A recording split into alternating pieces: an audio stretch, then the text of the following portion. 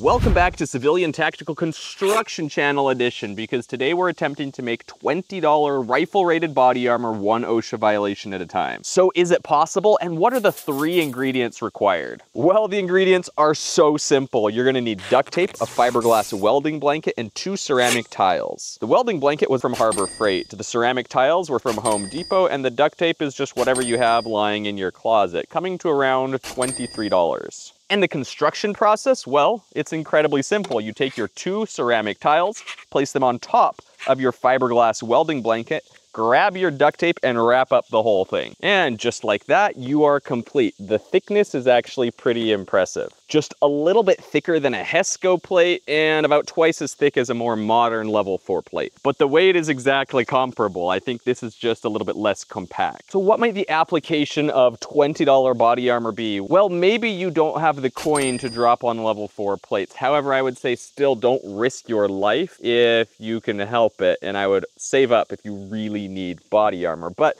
there may be some other applications for this. And those applications, I believe, will all depend on how well it does, if it can stop pistols, then to see if it can stop rifles, then to see if it can stop green tip 556. For example, if this can stop pistols, it may be an interesting idea to line a door panel with, or maybe to create a bulletproof wall if you use welding blankets and ceramic tiles, as crazy as it sounds, maybe that could be totally possible. We're gonna find out. Up to the point where if it is effective enough, maybe you would want to use it as body armor. You could get a tile cutter and cut some SAPI cuts so that it fits inside of a plate carrier perfectly. It's not gonna be contoured to your body like some fancier plates, but hey, if this stops a bullet, it stops a bullet. So let's get firing starting with 9 mil, then we're gonna jump to 223, and then we're gonna hit with green tip 556. Now let's keep going, but first I've got a question question for you. Would you leave your pistol on the hood of your car while you went into the gas station? Of course not. That is simply asking for trouble. So then why would you do the same thing with your information online? Leaving your data exposed is kind of like leaving your firearm out there. It's only a matter of time before it falls into the wrong hands. And that's where today's sponsor Aura comes in. They lock down your digital life. They check for leaked passwords,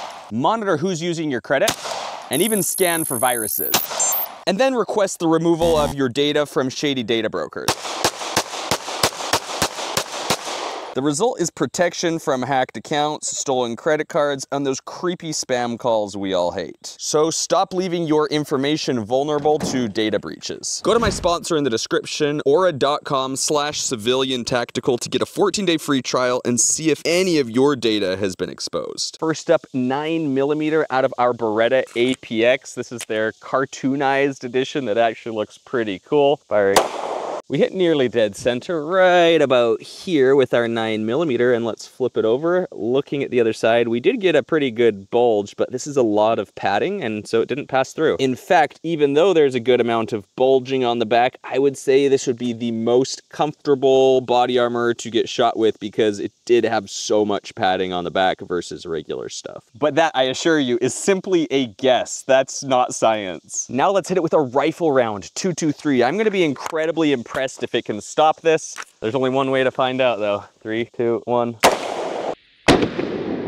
We spread this hit out enough that it would be a legitimate hit. It's about two and a half inches apart. Flipping it over, we can see no pass through. It did push this through the duct tape, it looks like. I wonder, that bullet, I can feel it right there. It's right on the tip. If we dig through this fiberglass, which I should not be doing without gloves, there it is. It almost made it through and it's incredibly, incredibly hot. So for our green tip, let's try and hit it a little bit higher. But man, even if that green tip goes through, I am incredibly impressed. $20 and it stopped 223. And now for our green tip 556 out of our PSA Sabre AR-15. Firing.